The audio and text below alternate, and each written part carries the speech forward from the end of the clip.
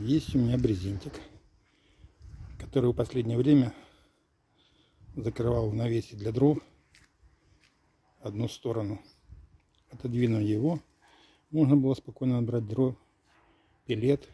И учитывая его возраст, а так я его приобрел в 95 году, когда был у меня автомобиль ИФА ГДРовский, а брезент был не новый, то ему уже порядка 40 лет.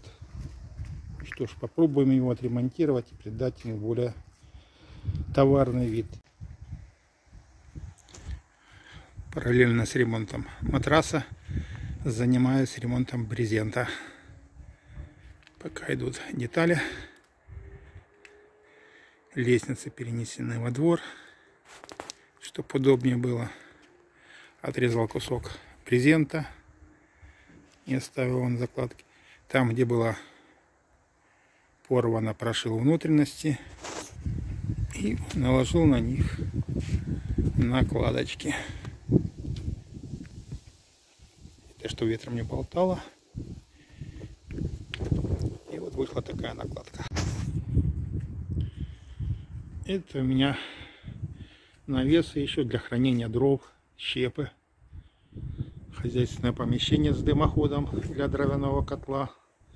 Следующий обзор, наверное, будет посвящен, как я чищу дымоход в котле. У меня там своя технология. Ну, а это видео увидите завершение брезента. Здесь хранится щепа. Сверху оставлена щель, где все отходы бумаги, короче, всего, что горит и пойдет на растопку, хранятся здесь. Ну, а здесь, видите, отремонтированный брезент латками.